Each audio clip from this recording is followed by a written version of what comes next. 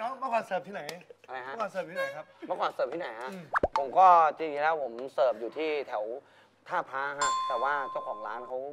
ไล่ผมออก เอ้าไล่ออกเรื่องอะไรอะหาผมทำอะไรไปมาเนี่ยฮะ หาผมไปขโมยกางเกงในเด็กเสิร์ฟผู้หญิง อ๋อเหรอครับโดนไล่ออกเลยครับพี่ แล้วไงต่อชีวิต แล้วก็เฮ้ยพี่ขาดพี่ไม่ได้ ไอ้มุกนี่ผมจำไม่ได้มุกขโมยกางเกงในอะพี่พี่กระซิบพี่กระซิบผมนะได้เลย อ่า ไปเจอเขาหาผมไปขโมยกางเกงในเขาแล้วออกจากท่าพระไปไหนต่อ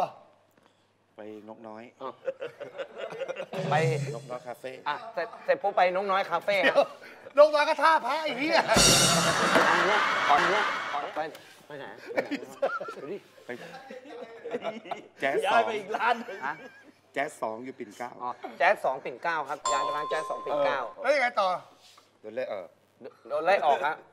เอ้าไล่ออกเรื่องอะไรอะ หาผมไปขโมยยกทรงอ๋อหาว่าผมไปขโมยยกทรงเขาปะโถ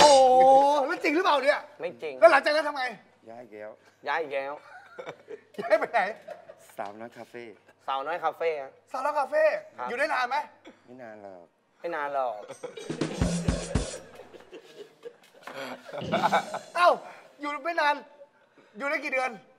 สองสามเดือน สองสามเดือน เอ้า แล้วทำไมถึงออก เขาก็ไล่ออกอีกแล้ว เขาก็ไล่ออกอีกแล้วอันเนี้ยให้เล่นเสียง มันจะได้เพิ่มความหมายไล่ออกอีกแล้วไล่ออกอีกแล้วเอ้าทำไมอะ